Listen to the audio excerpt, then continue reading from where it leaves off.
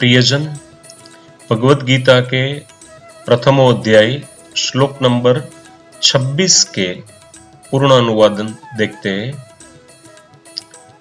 पूर्व श्लोक में भगवान ने अर्जुन से कुरुवंशियों को देखने के लिए कहा, उसके बाद क्या हुआ, इसका वर्णन संजय आगे के श्लोक में करते हैं।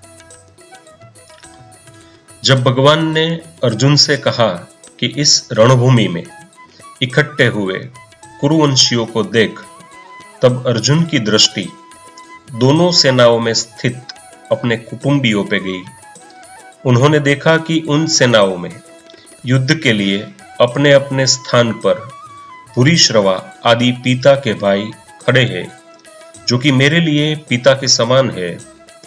भीष्म, सोमदत्त आदि पितामह खड़े हैं। द्रोण कृप आदि आचार्य विद्या पढ़ाने वाले और कुलगुरु खड़े हैं। पुरुजित कुंती भोज शल्य, शकुनी आदि मामा खड़े हैं। भीम, दुर्योधन आदि भाई खड़े हैं।